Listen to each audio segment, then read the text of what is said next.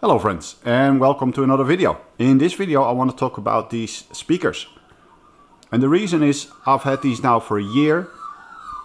Since three months the development has really stopped. I'm very happy where they are now. Um, I might do another iteration on them. And, um, and what I want to do is just share some of my learnings and insights and whether you should do this project and um, share those things with you. So hopefully for you, uh, for those of you who are deciding on these, have ever tempted to uh, do these, um, you get some answers or maybe some uh, something that can help you uh, find your own direction in audio. And um, in my experience, the amp and speaker choice is very uh, crucial in that. And um, so that's it. And I will do this in two videos, so there'll be two parts to it. Um, it also has, has a title, so it's 12 more insights. And uh, you hear the magpies outside, um, probably in the background. Um, but these are the topics, so 12 more insights, and we'll talk about the perks of mono, some myth busting, um, some insights from the DIY part, some breakthrough in sound quality, uh, things that I discovered there, and then some crossover design tips. And those uh, last two points will probably be in video two, just to break it up. So um, they'll be uh, like each 10, 15 minutes long, depending on how we go. Um, for those of you that haven't seen this video, uh, uh, the Lancelot speakers, I've got posted uh, and don't know what they are. Um, well, what they are is um, Janos from Real World Audio.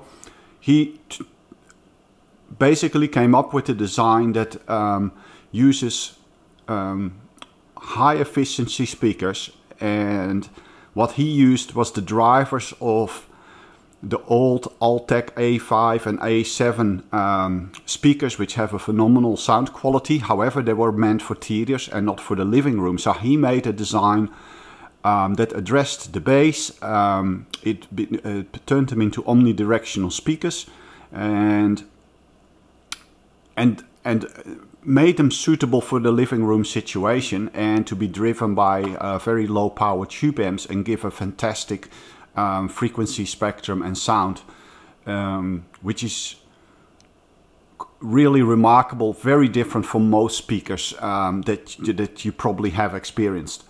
Um, now, my take on that is a little bit different. Uh, you can see that in other videos with different considerations. So at the moment you can actually see I've also went to a double situation where I now have two Altec 414s and um, an Electro Voice compression driver.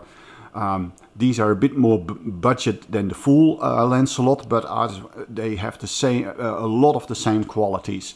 And what I've done over the last year is optimize the crossover.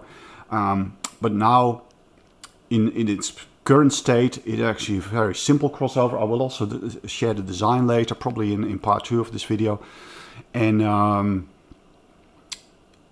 yeah after and, and this gives me such a good sound that I have very little impetus now to change it or upgrade it or so. So it is it's actually really landed. And funnily enough a lot of speaker designers that I've heard like uh, John DeVore and so on they talk about they have this trajectory of eight nine months to optimize a speaker.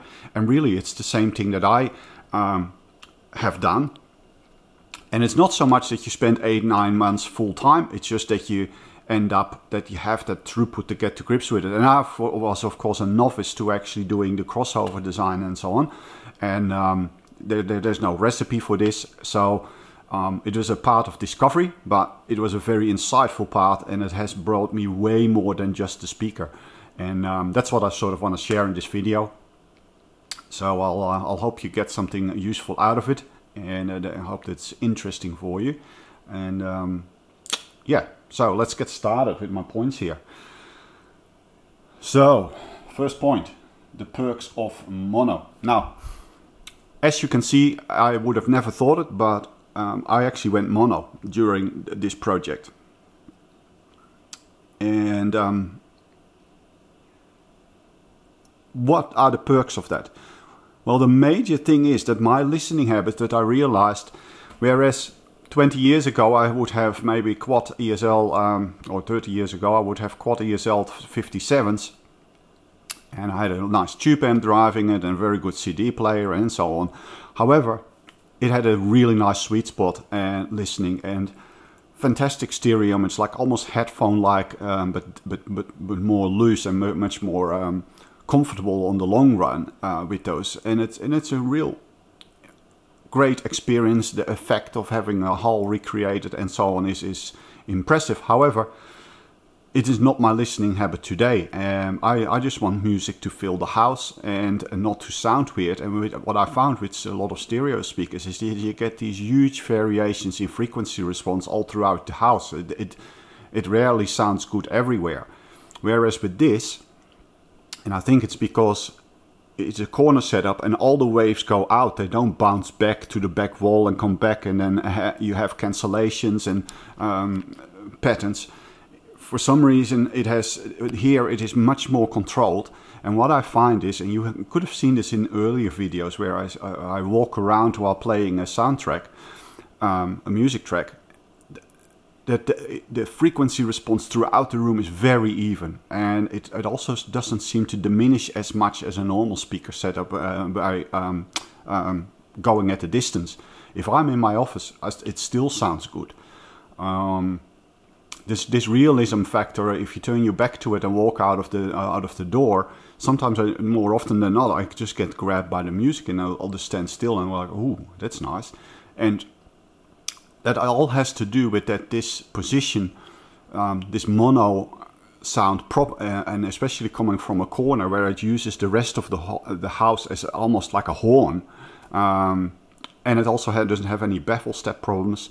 So that experience of being able to freely walk around through the whole house and have really good sound quality, um, that is really what these speakers have done. And, and the omnidirectional one um, makes it just that it, yeah, it, it really fills, fills the room with music in, in a way that I haven't seen normal speakers do, whether they're panel speakers or box speakers. Um, uh, they they have this directional quality that um, seems to interfere uh, with with that effect. If if we want the whole room to have the same music and music quality. Anyway, that's the perks of mono. Let's go to do a bit of myth busting now. So we'll go here, the next two points. And a corner setup is boomy. So as you can see, it's a corner setup. It is not boomy. And um, it's just one of those whenever people have just this one truth and it's sort of a universal generalizations like tubes are warm and slow or um, corner setups are boomy, um, just stamp it rubbish.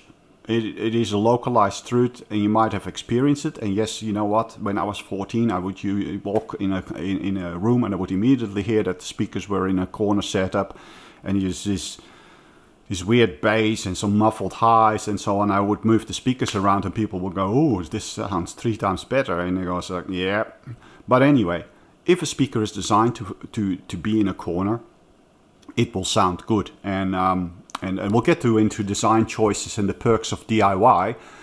Um, but really, when you're buying a speaker or you're, you're building a DIY model, you need to know what they were designed for and whether um, um, for what how for what placement. And um, if you don't know that you don't actually know what you're getting. And so if a speaker is designed to be in a corner it will sound brilliant in a corner.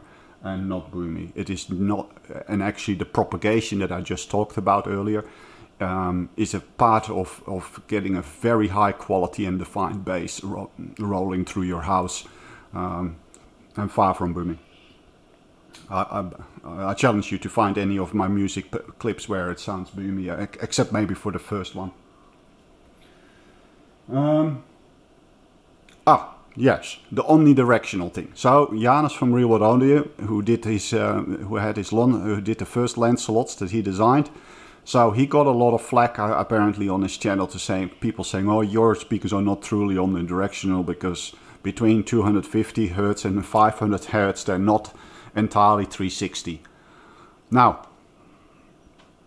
I think, again, it's a load of hogwash that, that those are being slung at him. While technically true, you have to realize, is it, is it important for your listening? And, um, and, and maybe if, if you've followed me, you've seen this, this, this speaker had crossover points from 300 to um, at 500 and at 900 and now at 2100 hertz. And so this would have majorly influenced the, the, the directional pattern because as the frequency, as I asked these woofers to do more high frequencies, they would have gotten more directional. Now these are Altec 414s are exceptionally good in the directionality. Um, it is amazing for 12 incher. Um, I don't think you'll find much better than these. However, did I notice a shift between the 300 Hz, which would make these fully omnidirectional, and at 2100 Hz? The difference is negligible. We are very sensitive to this region above 2 kHz, and this is still fully omnidirectional. And then, um, being a corner setup, what only matters is sort of this 70, 80 degrees coming out of the corner that needs to have that that even directionality to get all the perks of an Omni setup. Um, I don't think it matters that much that that um, that that I improve that I that you maybe only get 90 degrees or 70 degrees of directionality. Uh, it is, I'd say you get if you have that and it's very even for on 70 degrees, you're enjoying 95% of the benefits of an omnidirectional speaker, especially when you have a setup like mine. Um, but I would say in nearly all situations, it, it you would get the the majority of an omnidirectional. So it's just not critical. Um, I don't think Janos deserve to get any flack on the, on this because in in practical terms, it hardly matters. Um, that's my experience, at least here. So um, then the final part of this this um, is some DIY insights. Um, so as I said, like uh, what I noticed, a lot of you, um, I saw sort of commenting or, or deliberating when I, I, had my first videos on this Lancelot design was, you know, should I be doing it? And, and then you had Janos uh, from Real World Audio uh, warning you that this is not a beginner's project. And now I had built a couple of speakers before, like um, literally I think two or three, um, but they were all ready-made models and, and you know designs. I, uh, very early on when I was 16 or so, I built a KEF, and um, later, um, and we of course had a Carlson, and then um, I did a Viva. And what else did I do? Yeah, but those were ready-made designs and I actually didn't learn too much from it. It was just a cheap way to getting a very good speaker uh, um, and, and, and, I was always well advised in, in ta taking the right models. So I didn't have the experience really going into it to fully tackle a whole design. And um, of course I took Janos's lead from this for, for this the, the basis of his design, but there was a lot of discovery to be done. And um, and it took me nine months to get the crossover right and to really find the working points and to get to grips with everything. Now that seems a lot of effort, but it, it, it, it there are some things that help you with this and I will go into it. And, and it is, you get insights that and experiences that you will not get anywhere else. And I think they're very useful in getting a satisfying um, audio system. And um, yeah, so I want to tell a couple of things about it.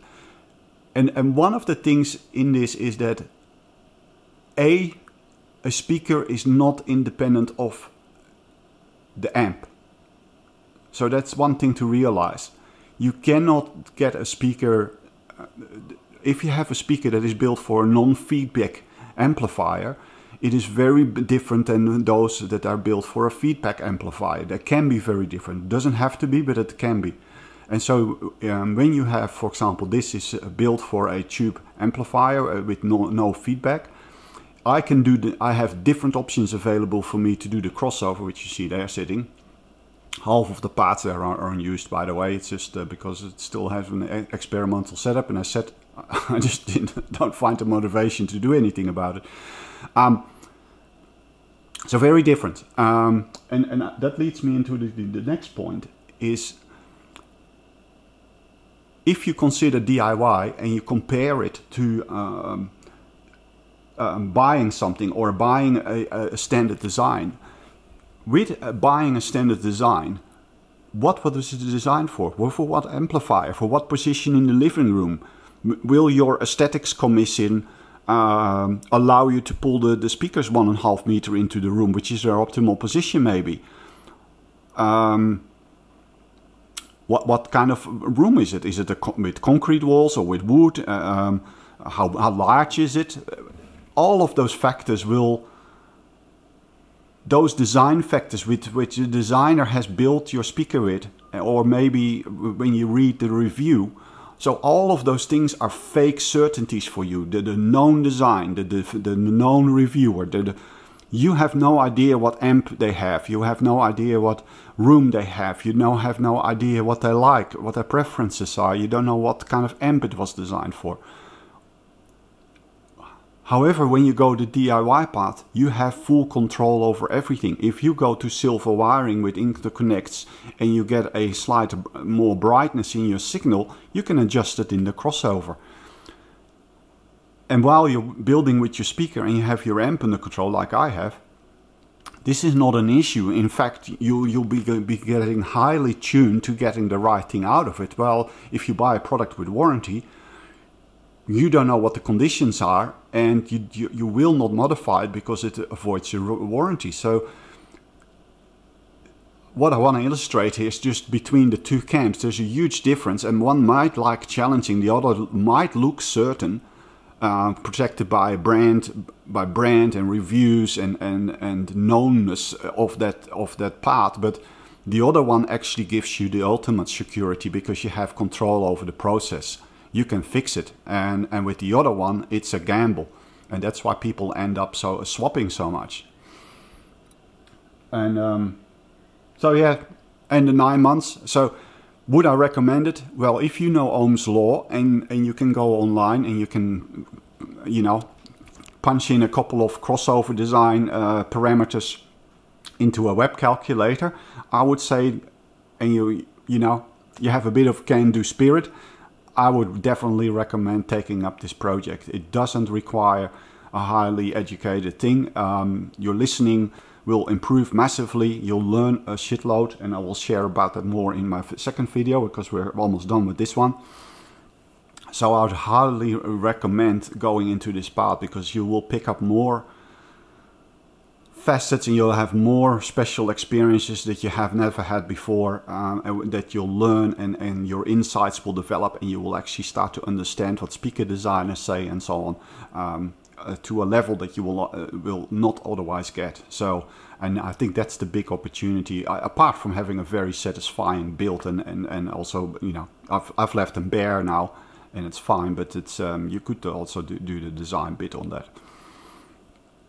Um, Speaking of which, for example, um, having this smaller bevel and this front made it look far less boxy than normally a speaker is. So, um, you know, you get to do things that um, um other people don't do and, and can really suit, suit the, the room or your design, uh, you know, your design preferences you can actually put into action. Um, and really the woodworking skills is also not that much. If you know how to do a power tool, just take your time and um, it'll turn out fine. And else you just go the prototype route like I did. You learn with that one and you build a better one. So that's it for now. Um, in part two, we'll go into some breakthrough um, sound quality things and some experiences that I had. And, um, and then I'll get into some crossover design tips and I'll also look at the crossover design itself. This is it for part one of this uh, video. And um, thank you for listening. I hope you got something out of it. And um, if you have any questions post them in the comments and I'll usually get to it within one day or so. And um, yes that's it. Until I hope to catch you in the next video and until then have a brilliant day. Bye bye